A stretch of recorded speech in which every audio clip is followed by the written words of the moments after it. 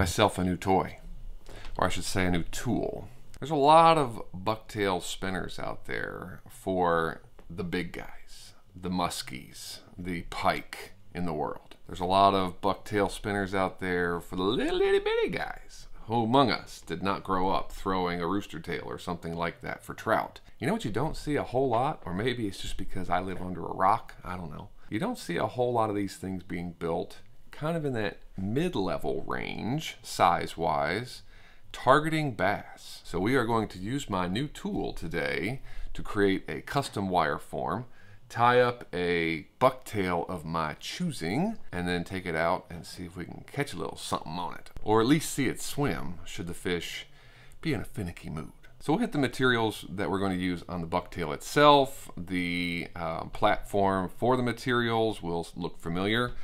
But first, we need to build the wire form using this guy. So let's do that. So here's a close-up of that tool I had already mentioned. This is the Du-Bro Bucktail Twister. This is um, sized to do big musky uh, bucktails, which would be wire similar to this. This is about 1.5 millimeter, which equates roughly to about 0.051. We don't need anything this big, this strong, so we are going to downsize to one millimeter or something closer to 0.04-ish, uh, similar to what you would see on like a spinner bait. So the way this thing works, um, the wire goes in here initially. It's meant to, uh, by the way, it's meant to go into a vise. I don't have a vise mounted anywhere, but I kind of find it easier to be able to manipulate, manipulate it, move it around. Kind of like it better that way anyway. So wire goes in here, extends off the top, initial bend, we do our thing, you'll see in a minute, and then we transfer that wire over to this side and finish the twist. So let's get started. Just take our wire, we want a good inch, inch and a half out of the top, thereabouts. Just give yourself enough space. So this is the other piece of it. It's got a hole here and then it's got that pin. We want the pin to be on this side of the wire because we're going to make our first bend by pushing it this way. So we'll make that bend just like that. And that's what you have inside, right? And the pin is below. So we want to pull this up, bring that pin over the top, right? So now the pin is there. And we want to continue that all the way around.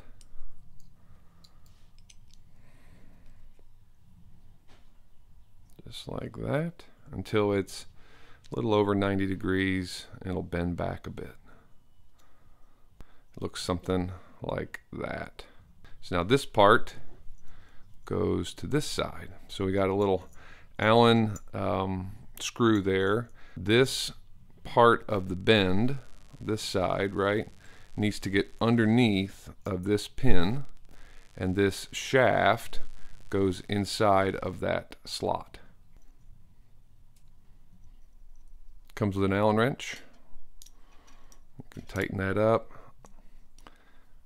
I, cin I cinch it down and then I just back it off just a hair so things can move a little bit because it will need to move just a hair. So there you go. You can see how it's underneath of that pin. Everything is all secured. So from here, we take the other end of our tool, slide it in, and we want to turn against this pin because as we spin it we're going to create our twist right on top so use the leverage of the tool and start spinning one two three loosen that back up pop it out and we'll take some angle cutters here and Watch your eyes. Cut that off. We can take pliers now, push that down. You can take a file, kind of get rid of the sharp edge and clean it up as much as you want. So from there, now we're ready to put our beads on. So this will serve as the bottom of our bait, right, where it's going to connect to our bucktail via a split ring.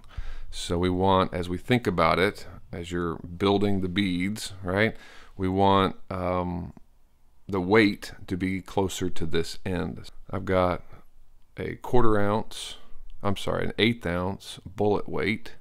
Slide this on first.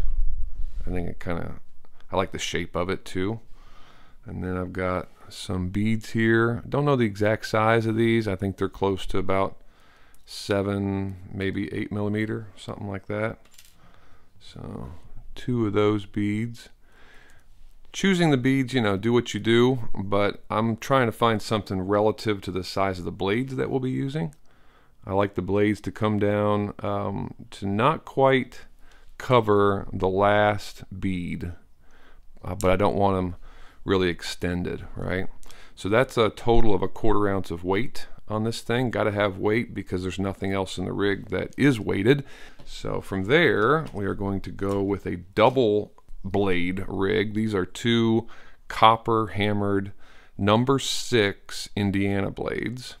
And we want the, the curve facing away from the bait. So we want them like that. We're going to put them on staggered using some fairly large uh, clevises, right? We'll feed it down in, but we don't want to go all the way through. And then get the other, make sure it's faced the right direction. That one goes in next. And then our first one finishes, and then our second one finishes. So that's what you end up with. They actually make double clevises like this that are that are connected. I will be doing that again. That are connected at the top that make it really convenient. I have some of those, but they're too large for um, the size hole that I have in these blades. So let me get those back on and we'll continue. All right, see, there we go. All done. See, they're staggered. Just like I was saying, I went ahead and put one more bead on top and they come down just so that they start to cover that last it would be a bead here and for me it's a weight but that is the setup now we need to finish it on the jig the only difference is before we twist it at the last step we're going to add this barrel swivel it's one that uh, Reed and I got a while back for uh, either catfishing or I've actually used this size for Carolina rigs as well uh, it's nice and sturdy, big and fat. Definitely going to want something like this on um, your bucktail because this whole unit is going to spin, which is kind of nice when that bucktail is spinning back here with all the deer hair and flash and all that good stuff. Really makes for a pretty cool presentation. So don't want to have the line twist. Make sure you go ahead and add a um, a barrel swivel now, or you can do so afterwards with a clip, whatever you want to do. So before we get too far into this, you can see I've got it loaded up, ready to do that first bend, and you can see how much space I have here.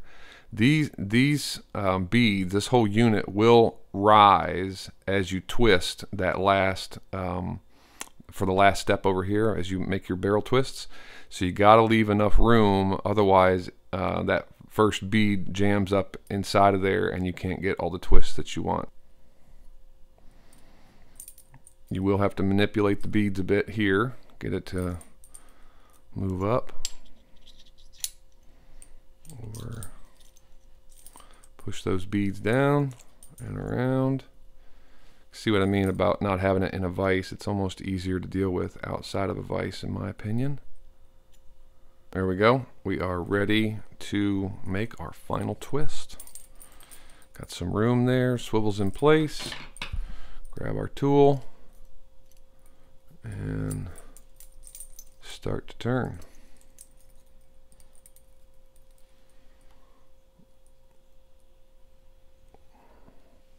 One, two, and three. And there we have it. Complete setup. Ready to be attached. Line tie here split ring here onto our bucktail. With wire form taken care of, now we move on to the bucktail itself. And we are going back to the tried and true. If you've been around the channel for any amount of time at all, you have seen me use these on a regular basis. This is that 28 millimeter fish shank that we have used in the past for the Whisper series, for a smaller version of this for the hybrid uh, swing head, all kinds of good stuff. So we are coming back to this. I thought it would be a great platform to use to put our bucktail and all of our other goodies on. Here we are, all loaded up. Got some black 210 denier flat wax. So we'll go ahead and seal this guy up, close the, um, the open sections there. We're going to use a um, split ring to put our wire form on that we just created, but also a split ring to connect our treble hook that will go inside the bucktail. So no need to worry about connecting anything to this right now. We can go ahead and seal this bad boy up, give us a nice thread base to work with. So we've got plenty of, um, like I said, plenty of base to put our material on. So the first material we're going to put on this guy is something that's just gorgeous. And full disclosure, couldn't get it at Barlow's. I have uh, sent a note to Matt Barlow and said, dude, you gotta find this. You gotta start carrying it because it's beautiful. Look at that stuff. I mean, is that not gorgeous? Whiting sells this. It's called a bugger pack. Whiting bugger pack. So until Barlow's gets it, you can find this at Lure Parts Online. That's where I got it. This is the Dark Bar Ginger uh, bugger pack. What we're gonna do here for the first part of this build is I want to find feathers like that. So it's it's kind of dark on the bot on the base, and then it goes into that barring. Maybe not quite that much barring. Uh, let me find one. Something more like that. See that? Solid all the way through, and then just the tip has that barring. So I'm going to see if I can dig out four of these, and that will be uh, the first element of our build. All right, I have my feathers of choice. This is one of those few instances where you don't have to worry so much about the um, feather twisting on you because they're going to be all over the place and the whole rig is going to twist in the water. So however it lays on there, it's good to go. So we're going to put all four of these on. You can stagger the length a little bit if you want, like that one there is a little bit shorter. I, can, I mean, I could make it longer, but if I want to purposefully stagger these a little bit and give it some texture and depth, which I do, then you can certainly do that. So let's get all four of these tied in.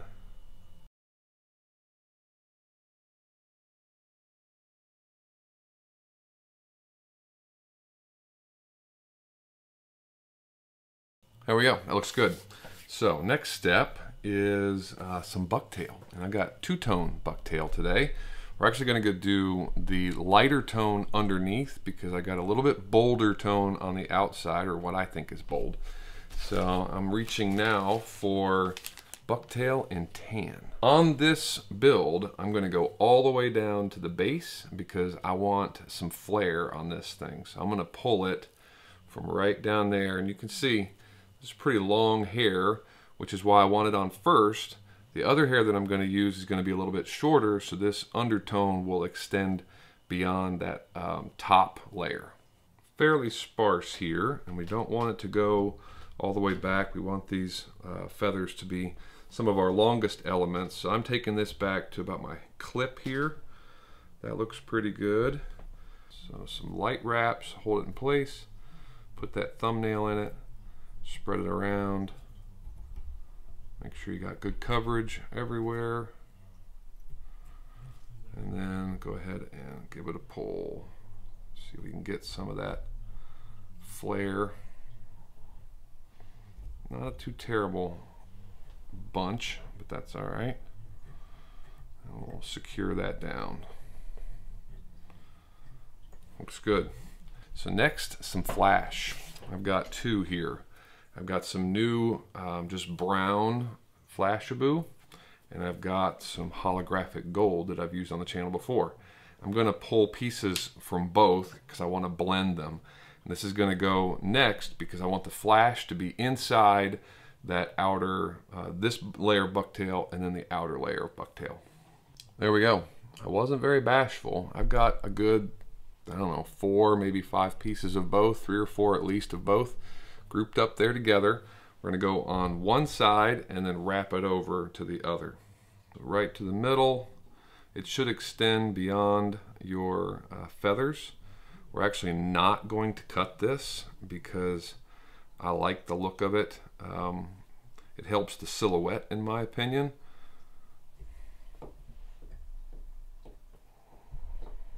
To have that um, flash go all the way to the back and beyond.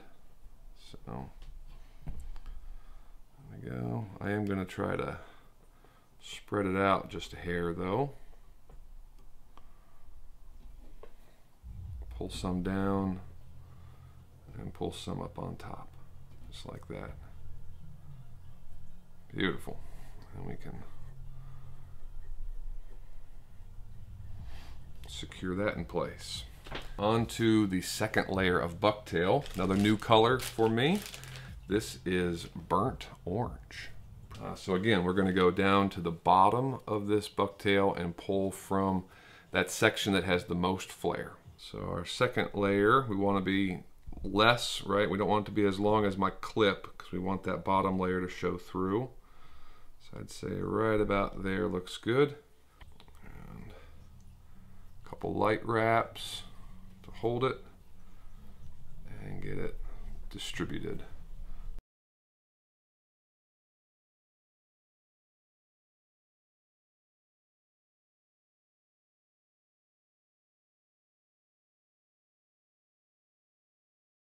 Uh, now, back to the bugger pack. So the bugger pack also, all, all different kinds of lengths on these, but they do have these little guys. This guy here. There's a bunch of those, not a whole bunch, but enough. And I pulled out two already. Aren't those cool? So we're gonna put these on either side of our, of our bucktails. So let me measure one up here so you can see what I'm doing. I kind of like the fluffiness, and in this case, we do want to utilize the um, structure of the stem, right? We want to we want to utilize this bottom portion in the fluffy section when it gets flat because we want to put this right on the side and have it stay there. So I'm going to go down to the fluffy section, kind of pull that back. That's what I'm looking at. Yeah, good length. I like it. So let me trim that and we'll get both of these on. Didn't like how that last one was sitting, so I picked out a different one from the other side of the piece. So I got one from this side. I went to the other side to find one. Usually, not always, but usually that means you get the offset, right? So, and I like the color of this one better. Check that out. So we're gonna use this one on the other side instead of that other one.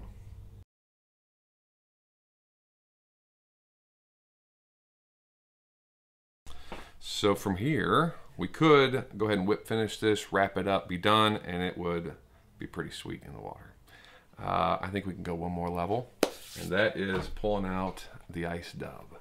I'm not looking to completely cover up these thread wraps, but I am kind of wanting to give it an ice dub, uh, flashy um, point, I guess, head, whatever this is. I don't know. The end, right?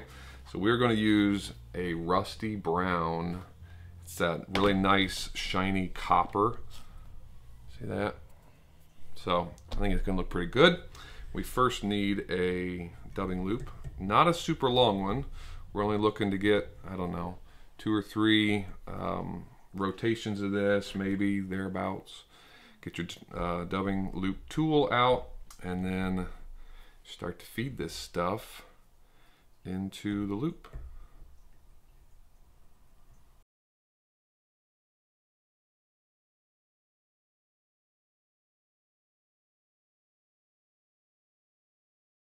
I'm going to pull that back and start to spin so it's got some tension on it. Looks pretty good. We'll pick it out nice and light just so it gets nice and buggy. That's the top. We'll do the bottom. There we go. Get around, hang that off. All right, now I'm gonna wet my fingers and pull those back so we get a nice layering effect. So put that on and just brush them back as you go. You see we don't we're not going to cover up that whole thread base but I wasn't looking to either. There we go. And we can tie that off. There we go. Two behind, couple in front, hold it in place, and now we can snip that loop.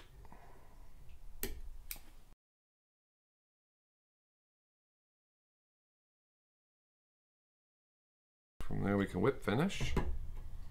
Two, three, four, five whip finishes there.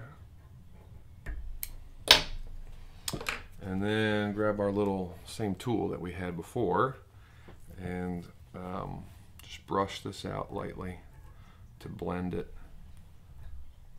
Doesn't need much. Pulling it back when we uh, spun it, right? That helped layer this already, kind of nice. We'll seal it up with some Sally Hansen's.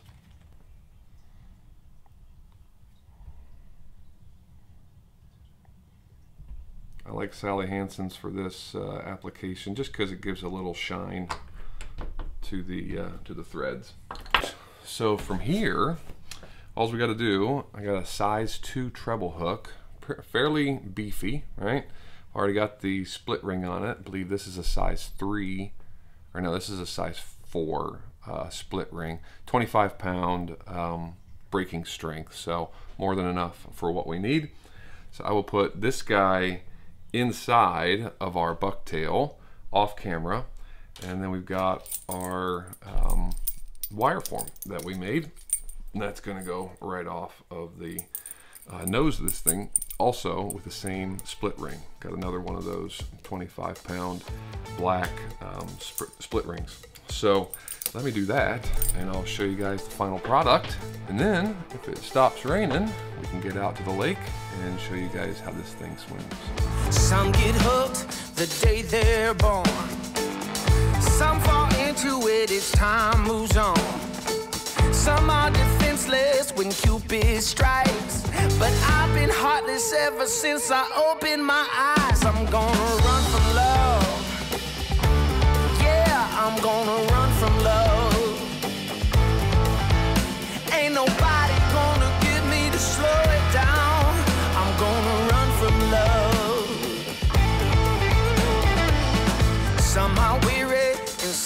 are lost. Some keep their spirits up at any cost. Some pay the price and some only talk. But I've been feeling nothing since the day I could walk. Well, I think that was a success. Glad you guys were able to see some of the action. I guess the recent rains here hadn't completely blown this place out, so I was able to get some good shots of it underwater. Uh, I think it was a good build. Uh, I've got some stuff to learn, got some stuff to experiment with. So a couple takeaways, pros and cons. Definite pro. Uh, hopefully you guys noticed in those action shots, but the feathers that I used that had that dark solid line I really liked how as the bucktail would spin those lines would show up and I just thought that action was really cool. The long those long feathers, the long flash, but the shorter bucktail I thought made for a nice profile, good bulbous and then came down to a, a pretty sharp point and it's just moving all over the place. I would experiment with the placement of the weight putting more weight in the butt. I think that would maybe improve the uptake action, which is a, is a con. I'll talk about that in a second. Um, and I would also find some double clevises and switch out the two single clevis for a double. I would cast it and instead of just as I engage the reel, I could feel those blades engage. I had to pop it and sometimes pop it multiple times before those blades was, would engage. I think what was happening was those two blades, as they sank down in the water, they would just seal up together. And until there was enough disturbance and water could get between them to break them loose, they wouldn't spin. So a double clevis that's meant to keep one on one blade on one side, one blade on the other, undoubtedly would help that. Overall though, for my first inline build, yeah, I think it works. I hope you guys agree. Hope you enjoyed this video. If you'd like to see more videos just like it, then click right here. If you're curious about the name SDG, click on this video right here. Otherwise, until the next time, I'll see you guys at the Vise.